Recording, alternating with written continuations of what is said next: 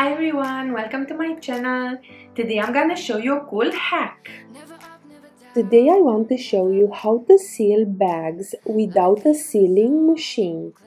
This will keep your products fresh for longer and eliminate the mess of having so many bag clips, rubber bands, sealing strips, etc. It's so fast and easy and you don't need to spend so much money on a sealing machine.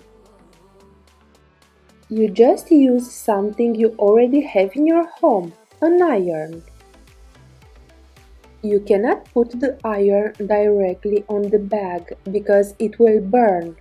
The plastic of the bag will stick to the iron sole, so you need some type of barrier, aluminium foil, paper wax, a piece of fabric or toilet paper. You need to use something between the iron and the plastic, so it doesn't burn. I cut off the top of the bags for a neater look and a more precise seal. Here is how you do it, so easy. Make sure to set your iron to the highest temperature, otherwise it won't seal. And no steam, you don't need steam. Look what a nice tidy seal. Perfect. I never think, I always do. Never thought I wouldn't jump. Oh, what a fool. Now I want to show you how I seal this bag of salt. So, so easy and quick. I would say super quick. You can sell like this at home treats, pantry products, cookies, chips, cleaning products, absolutely anything.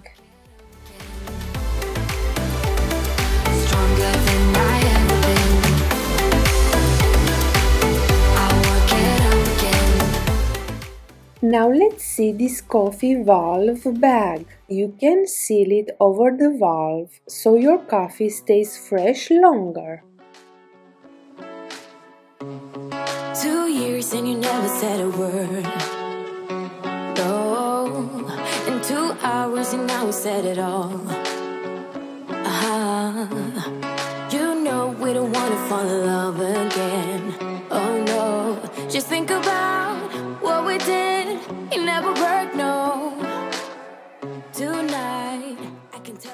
You can see I sealed it just above the valve.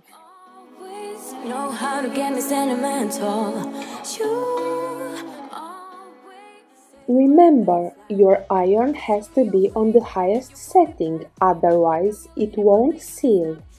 Here I have the proof. Have a laugh at this behind the scenes.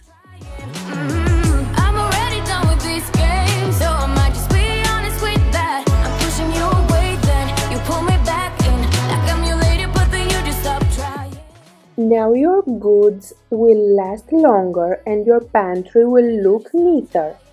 And you can even do this anywhere at home, in a hotel room, in your trailer, absolutely anywhere.